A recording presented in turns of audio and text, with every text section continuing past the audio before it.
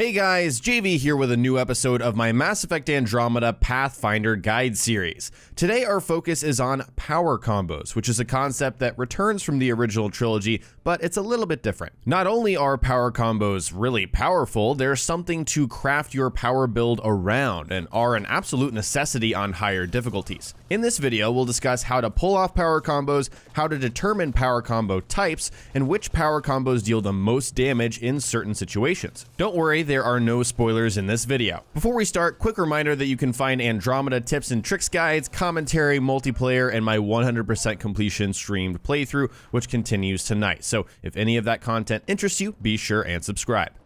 Let's begin by talking about power abilities in the context of power combos. We know that the game already categorizes abilities by combat, biotics, and tech, but we're going to shift that a little bit and just talk about how these work with power combos. So within that context, we have three different types of power abilities. We have normal abilities that don't do anything with power combos. They have zero effect. We have primer abilities, which set up for a power combo. And then we have detonator abilities, which follow through and actually execute the power combo. So in order to pull off a power combo, you must hit an enemy with a primer ability and then hit the same enemy or group of enemies that was affected by that primer ability with a detonator power ability. The best way to think of this concept is as a one-two punch. Your primer is your one, your detonator is your two. It's kind of like zap 'em and whack 'em for you Bioshock fans. It's important to note that most abilities in the game, even the normal ones that don't inherently prime or detonate, can be upgraded along their evolution path to prime or detonate,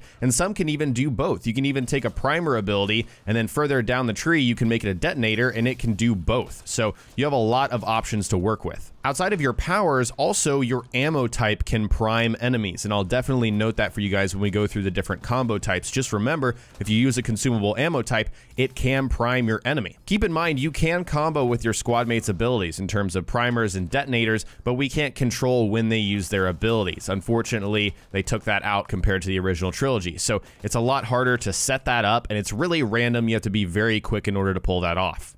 There are several different power combo types that you can pull off, and we'll go through each of those one by one, but it's very important to note when you're going for a specific combo type, the only thing that determines that type is the primer ability. The detonator has zero effect on the type of power combo you're pulling off. Of course, your detonator will deal its normal amount of damage like it would otherwise, but it has no other impact. Just to illustrate this example, let's take two abilities. First is Cryo Beam. This is a primer. So if you prime an enemy with Cryo Beam and then you detonate it with Overload, you're going to get a cold combo because you primed it with Cryo Beam. However, if I use Cryo Beam and then detonated it with Lance, I still get a cold combo because that's just how it works. So the detonator does not have any effect on the power combo type. Because the type of detonator isn't super important, we're going to first look at all of the detonator options that you have at your disposal. So starting with the combat sort of category of abilities, you have concussive shot, which is inherently a detonator. You don't need to upgrade this. It automatically detonates. It's got decent damage and decent force. This is actually a pretty good detonator in the grand scheme of things. We also have trip mine. This is the only other combat ability that does happen to detonate, but you have to upgrade it all the way out here to detonator. So this will act as a combo detonator just like any other detonator ability would. That's all we have in the combat tree. Let's move down to biotics now, and we have a lot of options here. So first is throw. This is an inherent detonator. It's got a good amount of force, but its damage really relies on being able to throw people into stuff. And so you can start out immediately by having this detonate your primed abilities. Next, we have Charge, which again is an inherent detonator. Really nice ability, especially for Vanguard type profile power setup. So we've got Throw, Charge, then we also have Shockwave, which is another detonator that you can have work immediately. And then finally, Lance, which is another really nice ability. I really like Lance. It's a really good uh, damage dealer for biotic type builds. So no other biotic powers can be upgraded to detonate, and I guess that's just something they decided to do, but some of them can be upgraded to prime. We'll talk about those in a little bit, but let's shift our attention to tech abilities now. So first off, we have Overload. This is such a good detonator ability. You can charge it up, deal more damage to chain to other targets. I really do like Overload as a detonator ability. You also have Energy Drain, another ability that inherently detonates in order to pull off the power combo. We also have Incinerate, which is inherently a primer, but it can be upgraded at the final rank to detonate your combos. So you can detonate and prime your power combos with Incinerate if you grab that ability. And then we also have Remnant VI, which can be upgraded at the final rank. The top one is Detonating Missiles. This will also trigger and detonate your power combos. Again, the choice doesn't really matter in terms terms of what you choose to detonate your abilities, because whatever you use to prime is the power combo that you're going to pull off. But damage wise, I do have a few favorites. First off, Concussive Shot is just really good across the board. It's got good damage, good force, and you know it just deals inherent damage in a pretty uh, nice way. I like it. And then under Biotics, Lance is another one that just deals raw damage, very good. It's got a better amount of force than Concussive Shot, as you can tell. I seem to like Lance more than Throw, even though you can't bend it around corners. Throw does rely on being able to hit uh, people into other stuff. You know, it's got damage on world collision, it's got force, but it doesn't have inherent damage, and so that's why I tend to favor Lance over Throw. And then in the tech tree, you've got a few really good options that I like.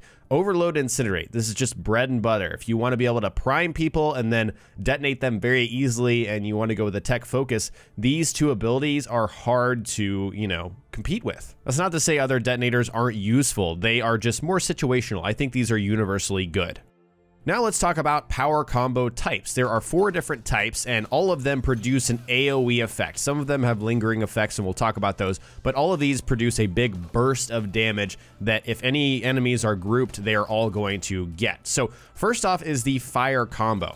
Fire combos deal high initial burst damage with that AoE, followed by a 10 second damage over time burn. And again, that travels to nearby enemies if they're caught in it, and fire is great against armored enemies as it always has been. If you count the 10 second burn damage that the fire combo gives you, this is the highest damage power combo in the game, period. It's a fire combo. So that means if your enemy happens to stay alive for 10 seconds and you deal that full 10 second burn damage, there's nothing that's going to compete in terms of damage. The thing is, if you're playing on normal or lower, you're going to be killing your enemies pretty quickly. They're not going to last for 10 seconds unless it's a really tough enemy, right? There are four different abilities that allow you to prime your target for a fire combo. First off is Incinerate, like we already talked about. Inherently, this is a primer. You're going to get it at the initial rank, and this is a really good primer. I really do like Incinerate. It's very good in this game. Of course, you also have Flamethrower down here. It's another primer. This is far more of an up-close ability, and you do need to be within a, you know, a fairly close range in order to actually hit people with the Flamethrower. So it's a little bit of a different utility and use than Incinerate, but it does the same basic thing.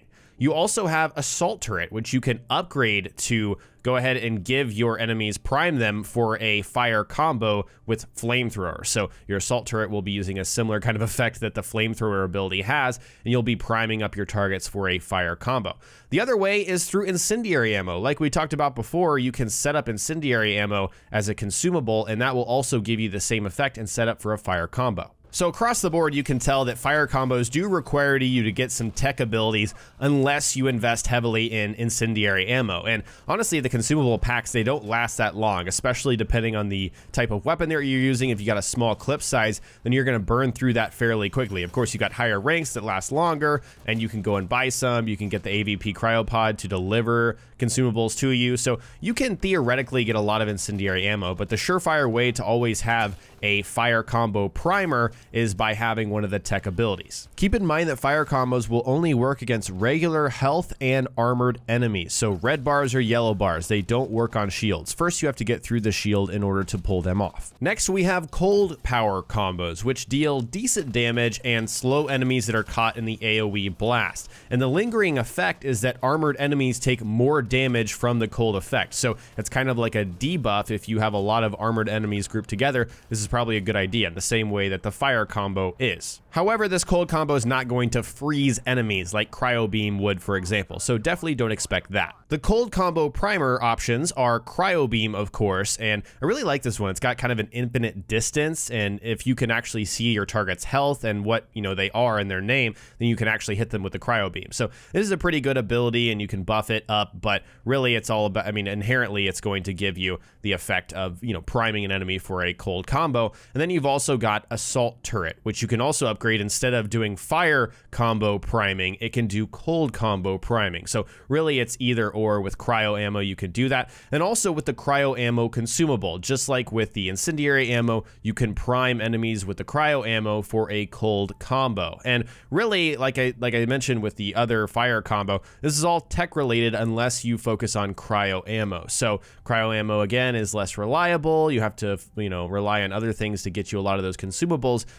but by and large, you're going to be using these abilities in order to prime people for a cold combo. Keep in mind, same thing with fire combos, cryo only works against red and yellow barred enemies, normal health and armor. If you're facing a shielded enemy, you have to get through the shields first. The next type of power combo is the Biotic combo, and this is the highest initial damage combo, however there's no damage over time or ground effect. So if we apply the same kind of logic that I did with the fire combo, if you're just on normal or a lower difficulty, the Biotic combo is probably going to cause the most damage to the most amount of enemies. It just deals the most amount of burst damage at the beginning, but there's no lingering effect afterwards. A few side notes with the biotic combos. If you look at the containment passive at the very bottom of the biotics tree, then scroll over to rank 5 concussive detonation, this makes your biotic combos actually knock down unarmored, unshielded, normal sized enemies. So that's a, an additional thing that you can actually do if you go for biotic combos. And then shifting our attention over to the adept profile at the bottom here, we have biotic echoes, which has biotic combos setting off additional explosions on each enemy that they touch. So you can really enhance your your biotic combos if you specialize specifically in biotics and the adept profile. Now, similarly to biotic detonators, there's also a lot of different biotic primers. So first off, at the very top, we have pull, which has two different functions. If you tap it, it just lifts enemies into the air and primes them. If you hold it, it still, you know, primes them, but it drags you towards the user. And so this is what you can do with pull. It's an ex excellent primer, really uh, good use across the board.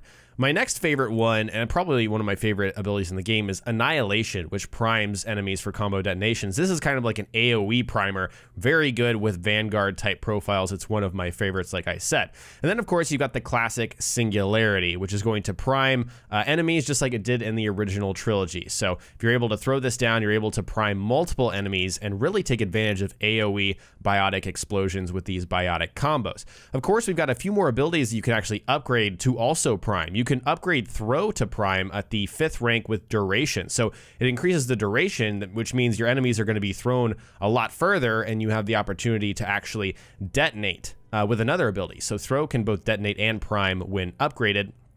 You also have Nova, which inherently doesn't have any kind of property like that, but if you grab Seismic Nova, which lifts enemies, or sorry, it knocks them to the ground, it'll also prime them.